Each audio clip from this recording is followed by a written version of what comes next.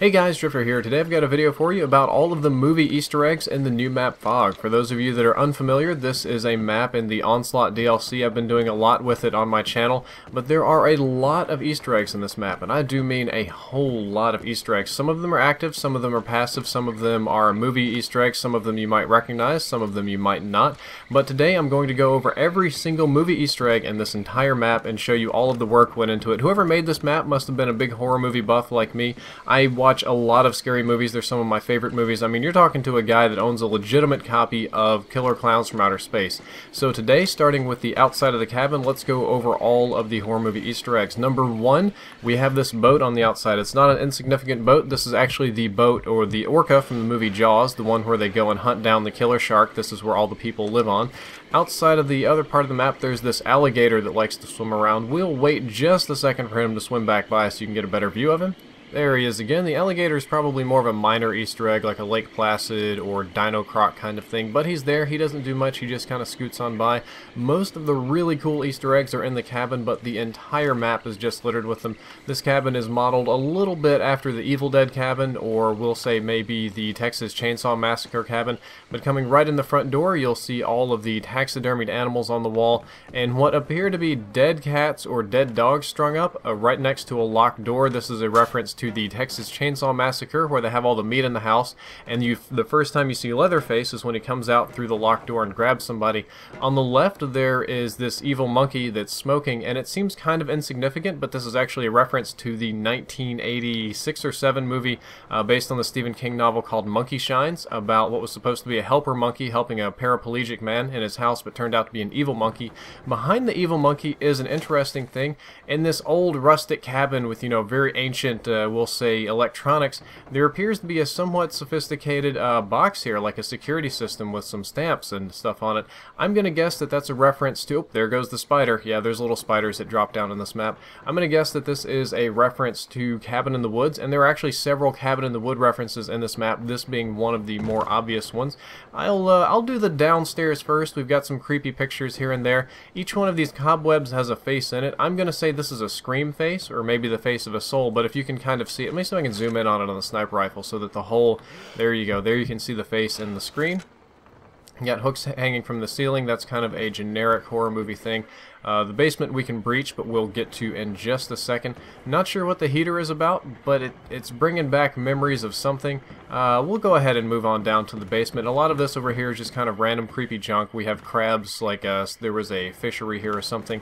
But the basement door is a reference to the Evil Dead, the Evil Dead 2, the old one, and the new one. You can breach this uh, from the bottom or the top, but I'll go ahead and breach it here. That's where they lock up the zombie, and it just kind of hangs out down there, and it taunts people. Yes, bats come through.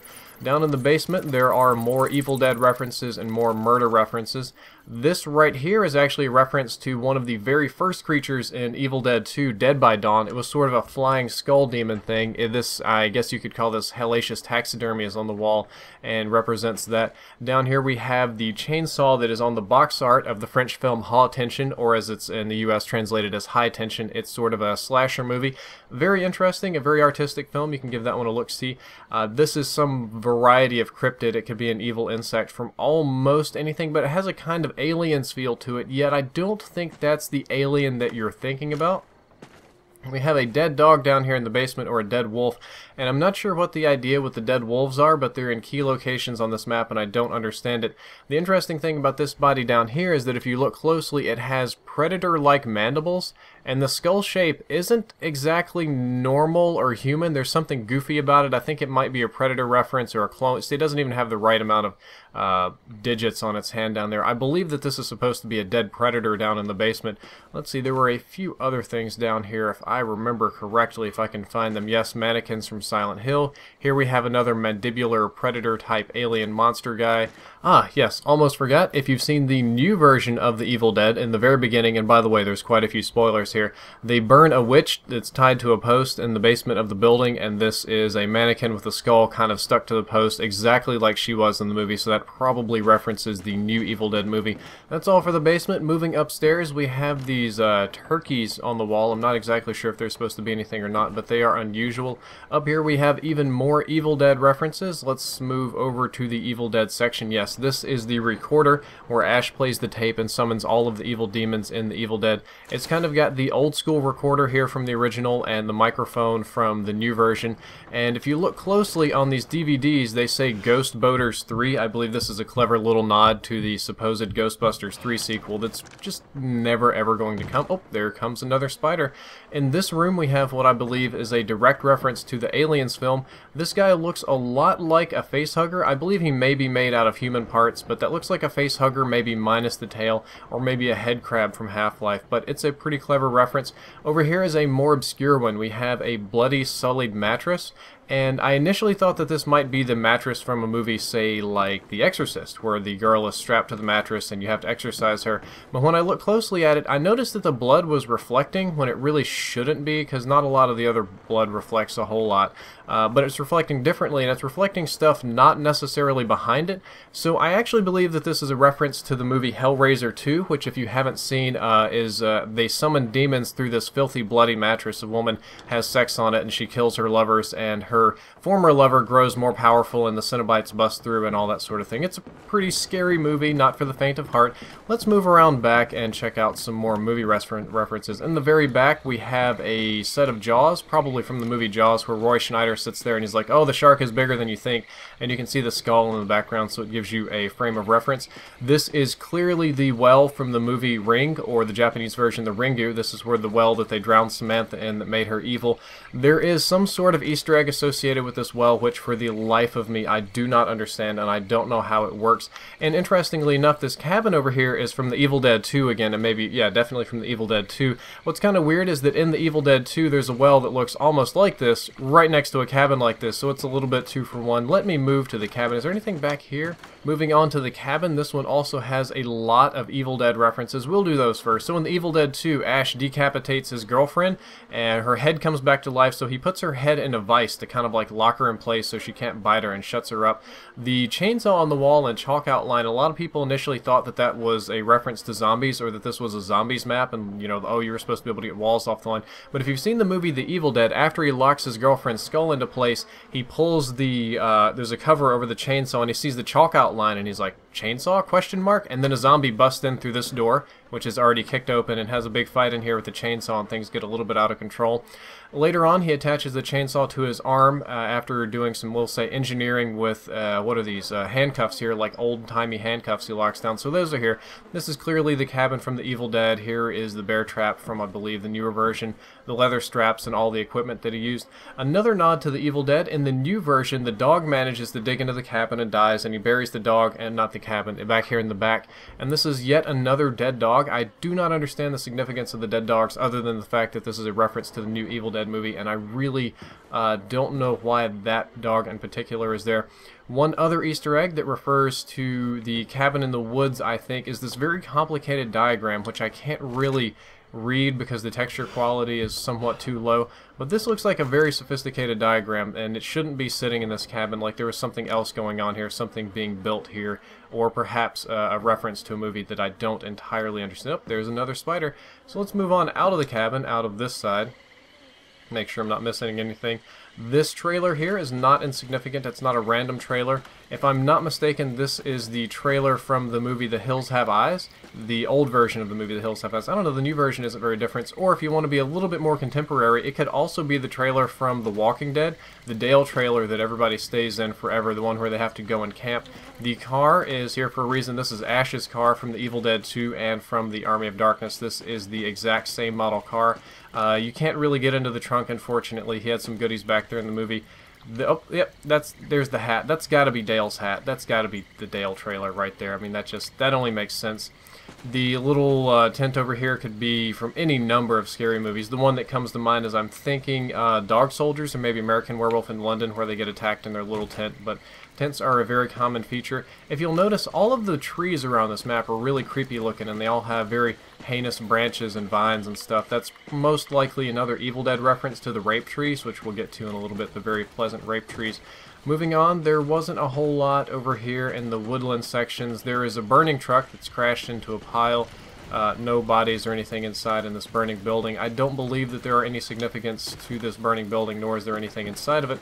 However, there is this bridge over here, and this is the bridge from The Evil Dead 2. The way it, it's supposed to be like a water flow or like a rock slide bends it, and the way that the hands, not the hands, the metal beams built, bend backwards is supposed to signify how it's like a hand closing you in, squeezing you in on the map. And in The Evil Dead 2, there was a car on the other side of this that they couldn't get across. Um, that was originally a repair truck. In the new remake of The Evil Dead, there's an SUV, kind of like this one right here, where they couldn't get across. So we're mixing and matching our movies here. Oh, there's little pieces of wood right there. I don't believe there's anything down below. Let's move on to the interior of the map. And as we moved into the interior, you can see more of these very spiky branches and vines. These are from the rape tree. Over here we have uh, what I'm going to call the ghost hole or the extinction pod. There is an extinction pod down here for the egg hunting. You can shoot these. I just made a bunch of bats come out when I shoot it. When you disturb it, bats come out. You shoot four of these in a map, you get an achievement. And if I wait here long enough, a ghost should come and fly into the hole. Where you at, ghost bro? I know you're around here. Oh, there he goes. There he goes. The ghost goes into the hole. That's where they come and go from. That's one of the ghost holes. In the middle of the map, which I would call the dead center, we have some sort of satanic sacrificial altar. altar. We've got the pentagram here and the goat skull. And we've also got a sacrificed goat. When we first played this game, uh, White Boy more or less flipped his situation when he saw the dead goat on the ground here in the sacrifice. He wasn't too amused.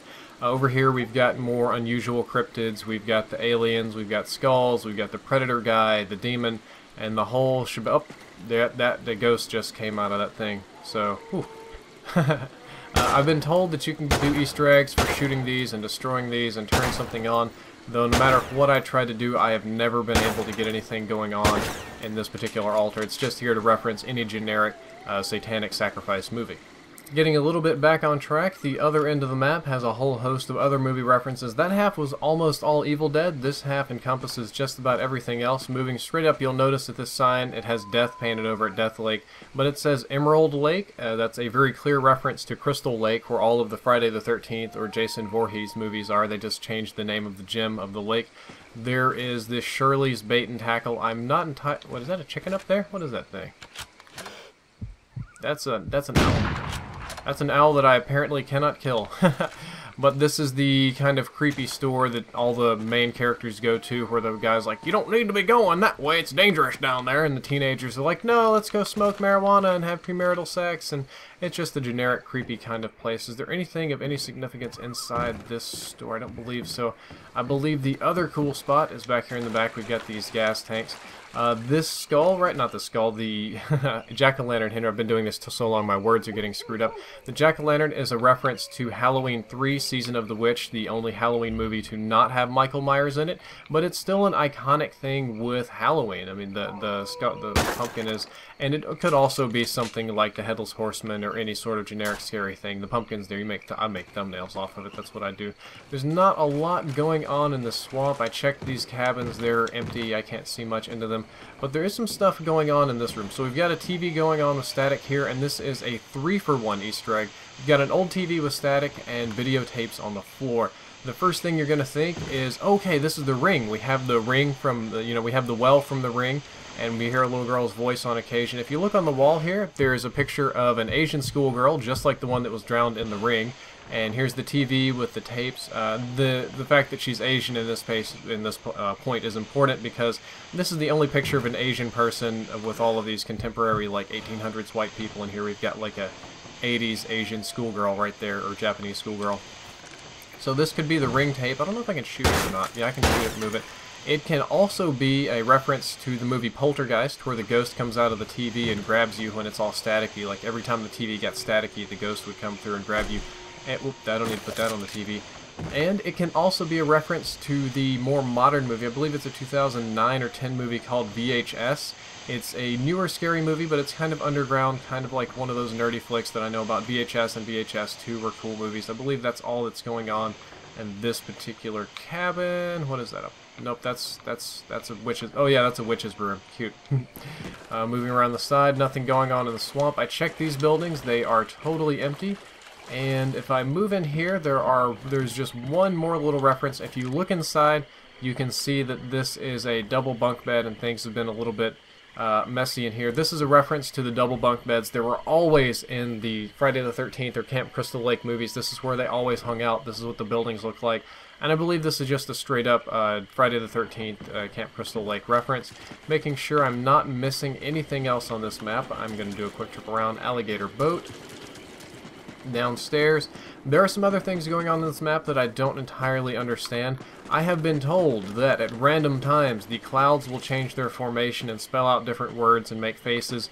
I have been told that there is a way to allow Michael Myers to collect a certain number of souls and then when you kill him an evil little girl's voice plays and gives you instructions. I have not been able to replicate that.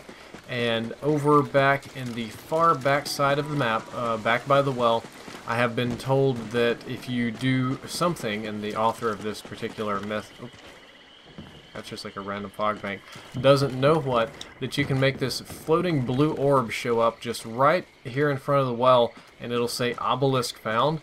I've also had somebody say that they found a, a floating triangle and it said tetrahedron found. Yeah, there's a ghost that just came out of the well. There we go, got a good ghost footage and he's gone. So there's some definitely some other active Easter eggs that I haven't missed, but those should be all the movie uh, references. And I hope you enjoyed this episode, this uh, commentary. I watch a lot of scary movies. It's not something that I share with a lot of people, not something that a lot of people care about or get. So if you watch scary movies, or if you enjoyed this or enjoy learning about me, then that's that's kind of how it is. I'm, I'm running out of things to say here at the end of the episode, so I'm just gonna say, Drifter out.